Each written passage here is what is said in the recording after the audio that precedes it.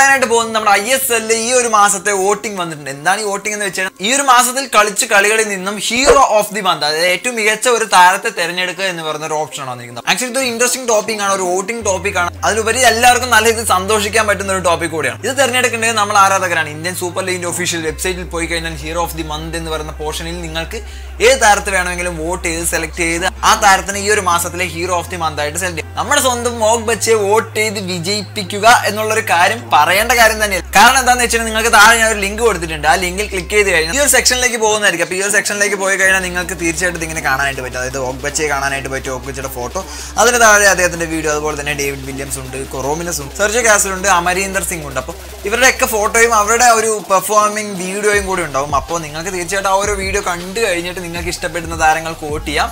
ഇനി നിങ്ങൾ ആർക്കൊക്കെ വോട്ട് ചെയ്താലും ഇവിടെ ഓഗ് ബച്ചയുടെ തട്ട് താഴ്ന്നു തന്നെ ഇരിക്കും. എൺപത് പോയിന്റ് നാല് ശതമാനം വോട്ടിംഗ് ആണ് ഓഗ് ബച്ചയ്ക്ക് വന്നിരിക്കുന്നത്. ഇതിന്റെ ഫൈനൽ റിസൾട്ട് ഉടൻ തന്നെ വരുന്നതായിരിക്കും. അപ്പോൾ ആ ഒരു സമയത്തിനുള്ളിൽ നിങ്ങൾക്ക് തീർച്ചയായിട്ടും ഇവിടെ താഴെ കാണുന്ന വോട്ട് എന്ന് പറയുന്ന ബട്ടിൽ ക്ലിക്ക് ചെയ്തിട്ട് നിങ്ങൾ അല്ലെങ്കിൽ ഇമെയിലും പാസ്വേഡും കൊടുത്ത് വോട്ട് ചെയ്യാം. അതല്ലെങ്കിൽ സൈൻ അപ്പ് വിത്ത് ഫേസ്ബുക്ക് ഒക്കെ കൊടുത്ത് നിങ്ങൾക്ക് വോട്ട് ചെയ്യാം. അതായത് ഒരാൾക്ക് ഒരു തവണ മാത്രമേ വോട്ട് ചെയ്യാനായിട്ട് പറ്റത്തുള്ളൂ. അപ്പോൾ ആ കാര്യങ്ങളൊക്കെ ഒന്ന് കറക്റ്റ് ചെയ്ത് ഒന്ന് വോട്ട് ചെയ്ത് കഴിഞ്ഞാൽ എൺപത് ശതമാനം എന്നുള്ളത് നമുക്ക് നൂറ് ശതമാനം ആക്കിയിട്ട് ഒരു പ്രൈസും അടിച്ചിട്ട് വരാം. എന്നാലും സോഷ്യൽ മീഡിയയിൽ ആരാധകർ കലക്കിക്കൊണ്ട് തന്നെ ഇരിക്കുന്നുണ്ട്. ഇനി കളിയിലെ കാര്യങ്ങളാണ് നമ്മൾ കാത്തിരിക്കുന്നത്. എന്തായാലും കേരള ബ്ലാസ്റ്റേഴ്സ് ഇതേപോലെ തന്നെ നല്ല രീതിയിലുള്ള മുന്നേറ്റത്തിൽ വിജയിക്കുമെന്നുള്ള പ്രതീക്ഷ നമുക്ക് കാത്തിരിക്കാം. അപ്പോൾ മറക്കാതെ തന്നെ വോട്ട് ചെയ്ത് നമ്മുടെ ശതമാനം വളരെ വളരെ വർദ്ധിപ്പിച്ചു കൊണ്ടുവരിക. അറുപത്തിയാറ് ശതമാനം നിന്ന് എൺപത് ശതമാനത്തിൽ എത്തിയെങ്കിൽ നൂറ് ശതമാനത്തോടെ രാജകീയമായി വിജയം നമുക്ക് കൈവരിക്കാവുന്നേ ഉള്ളൂ. അപ്പോൾ നിങ്ങൾക്ക് ഈ വിഷയപ്പെട്ടെങ്കിൽ വിഷയപ്പെട്ട് ലൈക്ക് ചെയ്യാനും ഷെയർ ചെയ്യാനും സബ്സ്ക്രൈബ് മറക്കരുത്. നിങ്ങളുടെ വലിയ അഭിപ്രായങ്ങൾ തീർച്ചയായിട്ടും താഴെ കമന്റ് ചെയ്യാൻ മറക്കരുത്. മറ്റൊരു മറ്റൊരു സമയത്ത് ഓർമ്മയൊക്കെ കണ്ടുകൊണ്ടിരിക്കും